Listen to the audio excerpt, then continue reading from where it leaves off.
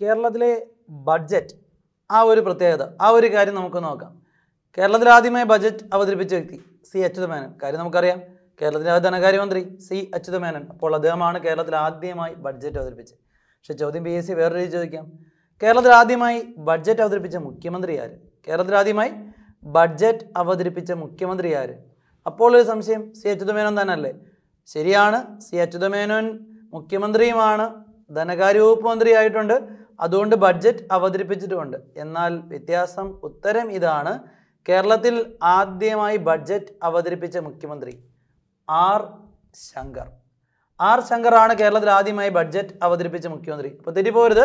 കേരളത്തിൽ ആദ്യമായി ബഡ്ജറ്റ് അവതരിപ്പിച്ച വ്യക്തി C Achutha Menon.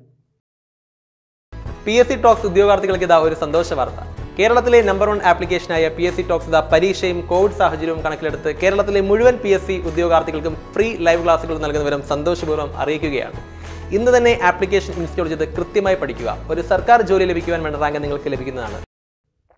കേരളത്തിൽ ആദ്യമായി ബഡ്ജറ്റ് അവതരിപ്പിച്ച മുഖ്യമന്ത്രി ആർ ശങ്കർ. കാരണം എന്തെന്നാൽ കേരളത്തിൽ അതായത് മുഖ്യമന്ത്രി എന്ന പദവിയും വേണം അതോടൊപ്പം തന്നെ ബഡ്ജറ്റ് അവതരിപ്പിക്കണം. ആദ്യത്തെ കാലഘട്ടത്തിൽ കേരളത്തിൽ ആദ്യമായി ബഡ്ജറ്റ് അവതരിപ്പിച്ച വ്യക്തി കേരളത്തിൽ ആദ്യമായി ബഡ്ജറ്റ് അവതരിപ്പിച്ച വ്യക്തി ചോദിച്ചാൽ സി അച്യുതമേനോൻ ആദ്യ കേരള നിയമസഭയിലെ കേരളത്തിന്റെ ധനകാര്യമന്ത്രി. അതും ഓക്കെ. ഇനി അടുത്തതായിട്ട് കേരളത്തിൽ ആദ്യമായി ബഡ്ജറ്റ് അവതരി മുഖ്യമന്ത്രി. അതാണ് ചോദ്യമെങ്കിൽ ആർ ശങ്കറാണ് കാര്യം. മുഖ്യമന്ത്രി എന്ന പദവി വഹിക്കുകയും വേണം ധനകാര്യമന്ത്രിയുടെ റോൾ ചെയ്യുകയും വേണം. അത് ആദ്യമായി ചെയ്താരെന്ന് ചോദിച്ചാൽ ആർ ശങ്കറാണ്. ഓക്കെ എങ്കിൽ കേരളത്തിൽ ആകെ എത്ര മുഖ്യമന്ത്രിമാർ ബഡ്ജറ്റ് അവതരിപ്പിച്ചിട്ടുണ്ട്? കേരളത്തിൽ ആകെ ബഡ്ജറ്റ് അവതരിപ്പിച്ച മുഖ്യമന്ത്രിമാരുടെ എണ്ണം നാല്. ആരെല്ലാം?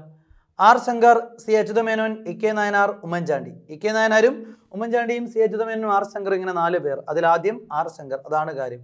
എന്നാൽ ആദ്യം ബഡ്ജറ്റ് അവതരിപ്പിച്ച സി അച്യുതമേൻ ലിസ്റ്റിൽ ലിസ്റ്റിലുണ്ട് എങ്കിലും ആദ്യമായി ബഡ്ജറ്റ് അവതരിപ്പിച്ചു എന്ന് മാത്രമേ ഉള്ളൂ സി അച്യുതമേനോന് മുഖ്യമന്ത്രി പദവിയോടൊപ്പം ബഡ്ജറ്റ് പ്രസന്റ് ചെയ്ത ആദ്യത്തെ ആളെന്ന പ്രത്യേകത ആർ ശങ്കറിനാണ്. പിന്നെ കൂട്ടത്തിലാണ് അച്യുതമേനോൻ എല്ലാം പെടുന്നത്.